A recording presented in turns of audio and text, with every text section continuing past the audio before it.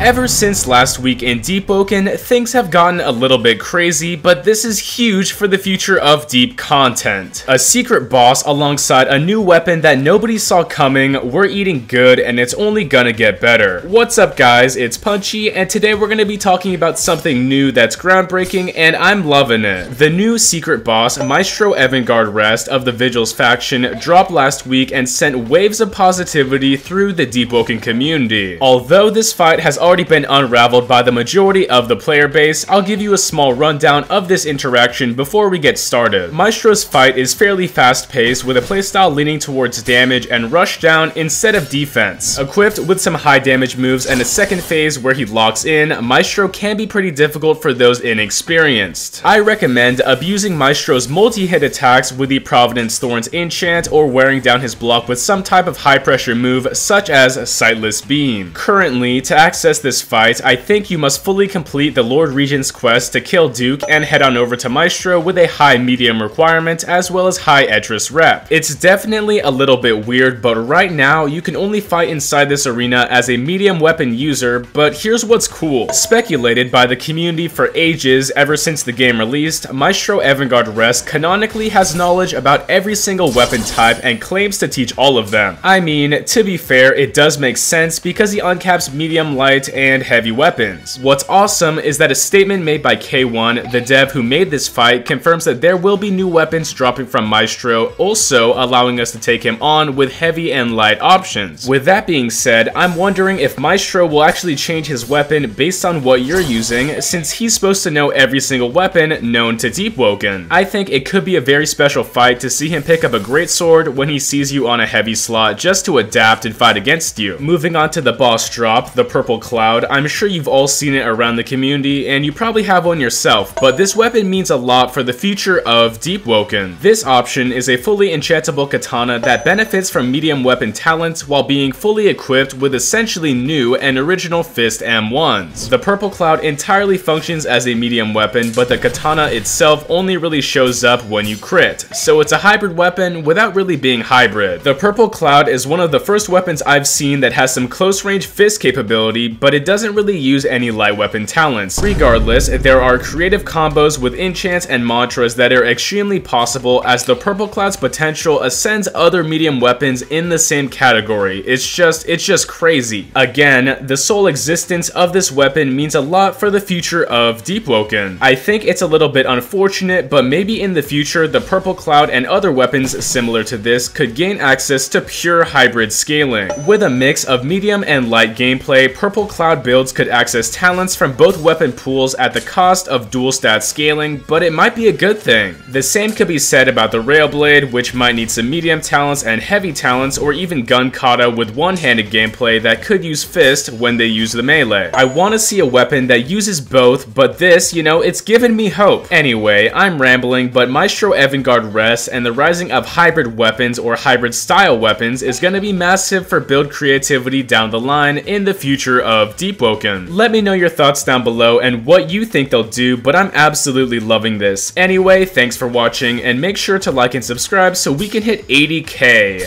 Thanks again, it's punchin' time.